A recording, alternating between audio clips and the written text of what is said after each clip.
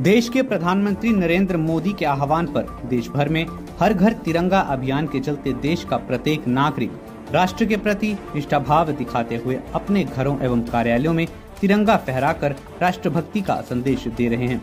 इसी के चलते देश के गृह मंत्री अमित शाह ने भी अपने आवास पर तिरंगा लहराकर देश की आज़ादी के लिए अपना सर्वस्व अर्पण करने वाले नायकों को याद किया।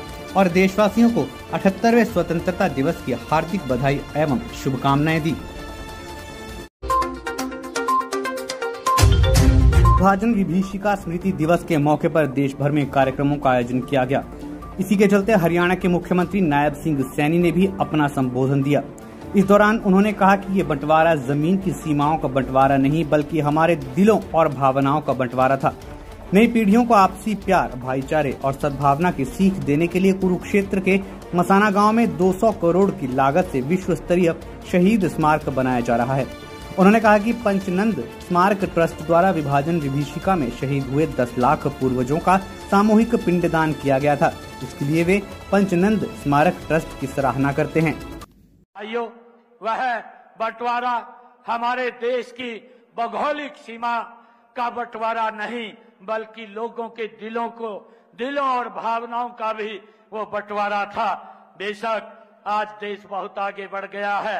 दुनिया का सबसे बड़ा लोकतंत्र और पांचवी सबसे बड़ी अर्थव्यवस्था बन गया है। लेकिन देश के विभाजन के दर्द को कभी बुलाया नहीं जा सकता।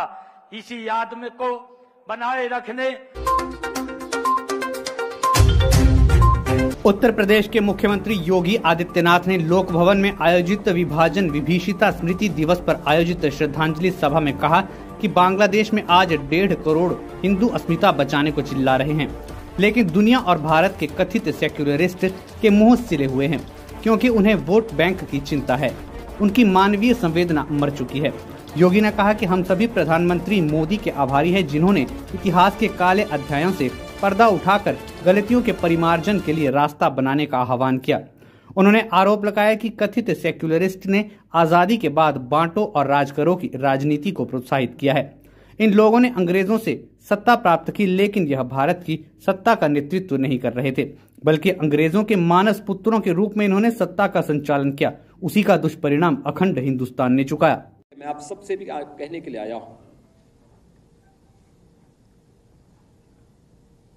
कि जो दृश्य 1947 में हुआ था, वही दृश्य तो आज बांग्लादेश के अंदर हम सबको देखने को मिल रहा है।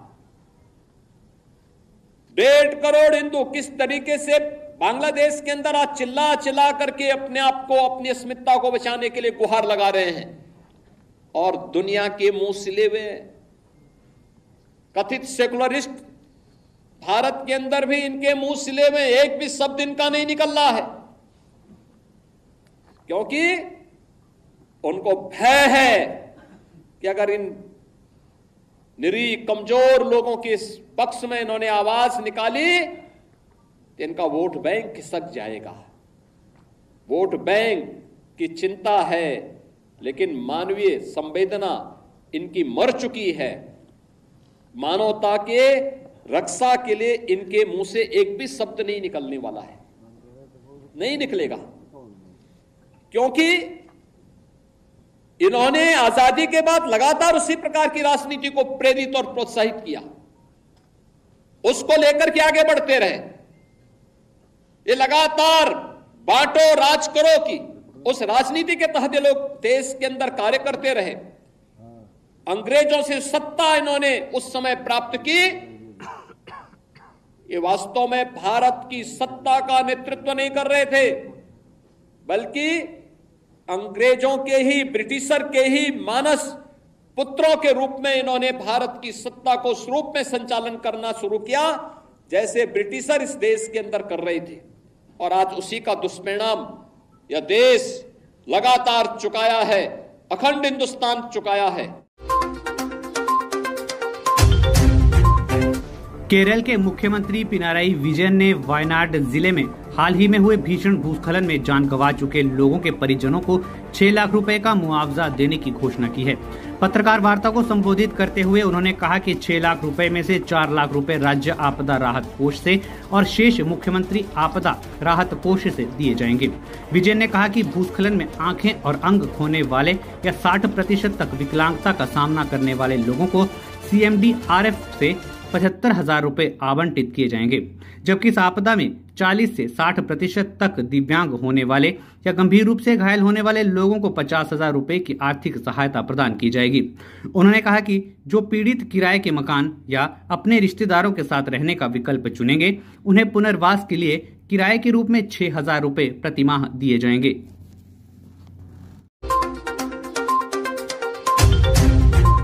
15 अगस्त स्वतंत्रता दिवस को लेकर देश भर में हर्षोल्लास का माहौल है। जगह जगह पर कार्यक्रमों का आयोजन किया जा रहा है। स्वतंत्रता दिवस के मौके पर दिल्ली में भव्य कार्यक्रम का आयोजन किया जाएगा। झंडा फहराए जाने के मुद्दे पर दिल्ली के स्वास्थ्य मंत्री सौरभ भारद्वाज ने प्रेस कॉन्फ्रेंस में कहा कि 15 अगस्त को चुनी हुई सरकार का कोई भी मंत्री ध्वज फहराए। इससे दिल्ली की जनता का सम्मान होता है।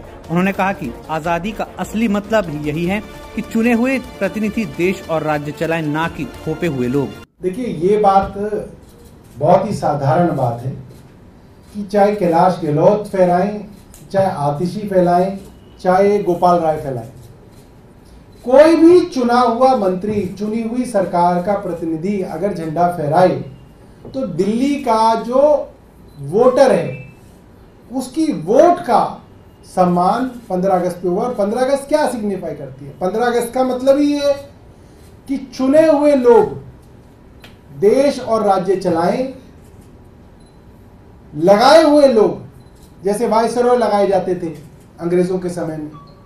वायसरॉय थोपे जाते थे अंग्रेज़ों के समय पे। ऐसे लगाए हुए, थोपे हुए लोग ना करके, चुने हुए लोग जो हैं, झंडा फहराएँ, वही आज़ादी का असली मतलब है। पंजाब में शिरोमणि अकाली दल को बड़ा झटका लगा है। बंगा विधानसभा हल्के से दो बार के लगातार विधायक डॉक्टर सुखविंदर सुखी ने अकाली दल को अलविदा कह दिया है और आम आदमी पार्टी का दामन थाम लिया है। चंडीगढ़ में सीएम भगवंत मान ने प्रेस कॉन्फ्रेंस बुलाकर सुखविंदर सुखी की आम आदमी पार्टी में ज्वाइनिंग कराई। इस दौरान आम आदमी पार्टी के संगठक महासचिव संदीप पाठक की भी मौजूदगी रही। वहीं साथ में पार्टी के और नेता भी मौजूद थे। विधायक सुखविंदर सुखी के साथ उनके साथी समर्थक भी आम आदमी पार्टी में शामिल हुए हैं। सीएम ने सभी को पार्टी में मान बख्शने की बात कही है। वहीं आम आदमी पार्टी में शामिल होने के बाद बंगा विधायक डॉक्टर सुखविंदर सुखी ने कहा कि मैंने सीएम भगवंत मान की नीतियों और बंगा हल्के के विकास के लिए आम आदमी पार्टी ज्वाइन की है। पार्टी के साथ पूरी वफादारी के साथ काम करेंगे। अकाली दल छोड़ने पर सुखी ने कहा कि उन्हें अकाली दल या सुखवीर बादल से कोई समस्या नहीं है। वे अकाली दल के मान से ही दो बार विधायक बने हैं, लेकिन अब वे सोचते हैं कि बंगा हल्के के विकास के लिए सीएम भगवंत मान के नेतृत्व में आम आदमी पार्टी से जुड़ना चाहिए, ताकि बंगा हल्के में विकास के काम हो सके और लोगों को सहूलियतें मिले। सब तो पहला तो मैं सरदार भगवान सिंह मान साहब, सीएम साहब का और डॉक्टर सिंह पाठक जी का धन्यवाद करदा कि मैंने उस वे उन्होंने ज्वाइन कराया तो मैं लगता कि जिस पार्टी के बानवे एम एल ए हो, उन्होंने शायद दूसरे एम एल ए की लोड़ नहीं पैंती और अज मैं ये मान महसूस कर रहा कि मैं आम आदमी पार्टी का एक सिपाही बन जा रहा मैं उस हल्के तो आना जिथे शहीद सरदार भगत सिंह का जद्दी पिंड है पर मैं समझदा कि आम आदमी पार्टी ज्वाइन करने का सब तो बड़ा कारण ये रहा कि जो मैं सीएम साहब ने कहा कि कि शहीद सरदार भगत सिंह के पिंड सौं चुकी है मैं जिस दिन इन्होंने सौं चुकी सी मैं उस दिन उस सौं समागम के हाजिर सी ਉਸ ਤੋਂ ਬਾਅਦ ਜਦੋਂ ਮੈਂ ਇਹਨਾਂ ਨੂੰ ਕਿਹਾ ਕਿ ਤੁਸੀਂ ਉੱਥੇ ਉਹਨਾਂ ਦੇ ਨਾਮ ਤੇ ਇੱਕ ਮੈਡੀਕਲ ਕਾਲਜ ਬਣਾਓ, ਤਾਂ ਇਹਨਾਂ ਨੇ ਵਿਦਆਊਟ ਐਨੀ ਹੈਜ਼ਿਟੇਸ਼ਨ ਉਸੇ ਵੇਲੇ ਕਿਹਾ ਕਿ ਮੈਂ ਇਸ ਧਰਤੀ ਤੇ ਮੈਡੀਕਲ ਕਾਲਜ ਜ਼ਰੂਰ ਬਣਾਉਂਗਾ ਮੈਂ ਸਮਝਦਾ ਕਿ ਉਹ ਮੇਰੇ ਲਈ ਬਹੁਤ ਵੱਡੀ ਮਾਣ ਬੜੀ ਗੱਲ ਹੈ। ਮੈਂ ਸਮਝਦਾ ਕਿ ਇਸ ਤਰ੍ਹਾਂ ਦੇ ਸੀਐਮ ਨਾਲ ਇਸ ਤਰ੍ਹਾਂ ਦੇ ਪਾਰਟੀ ਨਾਲ ਕੰਮ ਕੀਤਾ ਜਾ ਸਕਦਾ। बांग्लादेश में अंतरिम सरकार का गठन हो गया है। इसके बावजूद बांग्लादेशी नागरिक अवैध रूप से भारत में प्रवेश करने की लगातार नाकाम कोशिशें कर रहे हैं। मंगलवार शाम पुलिस के अधिकारियों ने अगरतला रेलवे स्टेशन से 16 बांग्लादेशी नागरिकों को हिरासत में लिया है। बताते चले, पकड़े गए व्यक्तियों में तेरह पुरुष और तीन महिलाएँ शामिल है। हालाँकि पकड़े गए लोगों में से तीन गैर कानूनी गतिविधियों में शामिल बताए जा रहे हैं। स्थानीय पुलिस ने पकड़े गए लोगों को हिरासत में ले लिया है। साथ ही अगरतला सरकारी रेलवे पुलिस स्टेशन में विभिन्न कानूनी धाराओं के तहत मामला भी दर्ज किया गया है और इन्हें अदालत में पेश किया जाना है। ताज़ा अपडेट्स और बड़ी खबरों के लिए सब्सक्राइब करें आज प्रकाश टीवी और बेल आइकन दबाना न भूलें।